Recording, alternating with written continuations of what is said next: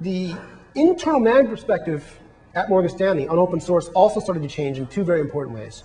So, like I said, the support, community support model was proving to work pretty well. We were happy with the results. Um, we were also coming to the realization that the commercial support model sometimes didn't work at all. And that you, you could not generalize and say, well, open source community support, not good. Commercial support, wonderful, we'll pay millions for it. You really have to evaluate the quality of the code, quality of the product, and the quality of the support on a case-by-case basis. There are some commercial vendors, when you call the 800 number, in that commercial where the guy says, uh, we're out of decaf, and, and the, the next, it's the Nextel ad where the, uh, the pit crew jumps over the wall and refills out of the coffee machine. There are some firms that respond like that. They're great. I haven't had the experience of working with them personally, unfortunately.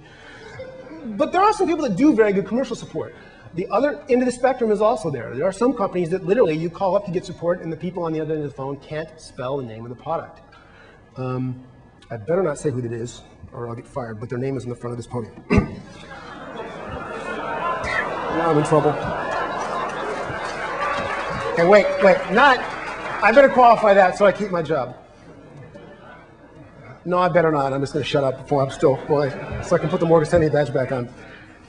Um, the, the other change is really far more significant in that we've been, for years, been contributing patches somewhat subversely, or not subversely, covertly, um, back to the open source communities. But releasing software that we developed, um, that was written from scratch at Morgan Stanley as open source was a pretty alien concept.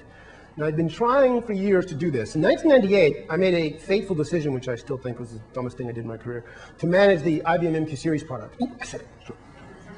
Um, I took over ownership of their MQ Series Perl module, which they didn't really care about. It was put out on their website as a support pack, and it was pretty minimal.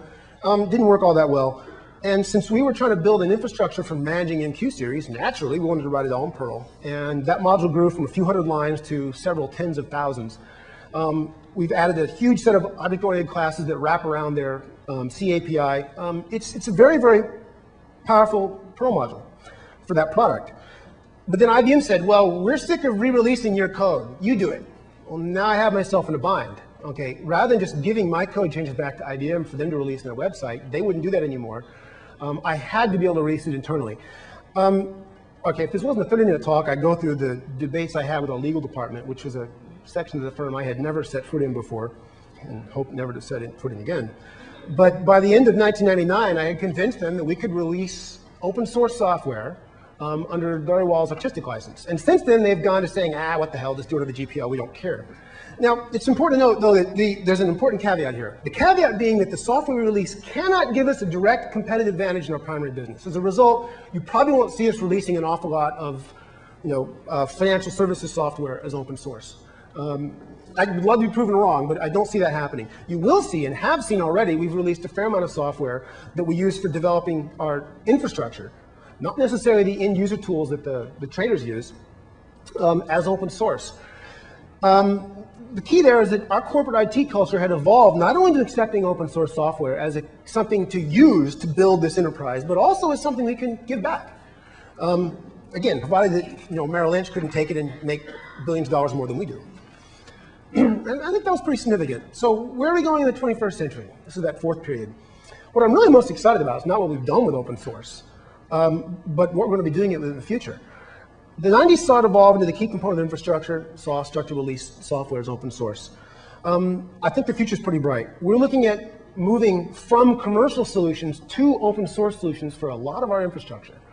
Now, so that I really don't get in trouble, a lot of the things I'm about to say are not official corporate positions. They're my take on where I see our own internal decision-making process going and certainly where all the geeks that control those processes or influence them tend to agree.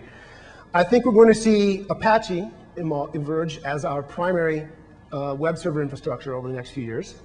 Um, we're going to be replacing the commercial Kerberos infrastructure we paid millions for um, with something that we compile based on the open source implementation, and the reason primarily being because the support from the vendor has been abominable.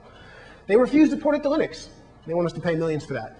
Um, they have not fixed most of the bugs you reported. This has been a, a, problem with a lot of the commercial software we had. You know, once we scale it up and we start using it in ways the vendor didn't anticipate, then we don't get bug fixes. They go, oh, that's an enhancement. Oh, you want it to scale? Wow, that's a different problem. And suddenly we're being squeezed for cash. The open source community, well, we're empowered to make the changes we need to make this stuff scale.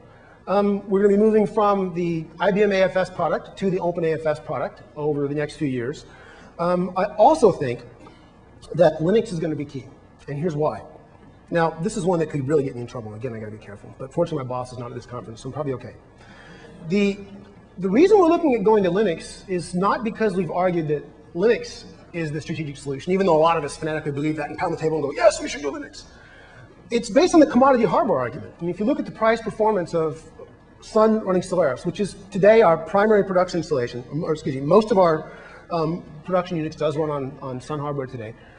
Um, but if you price perform the Sun's running Solaris against some of the newer Intel hardware running Linux, then it, the Intel stuff wins, hands down.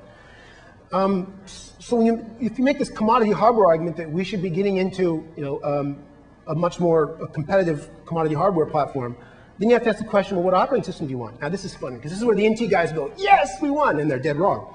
All right, you have two choices.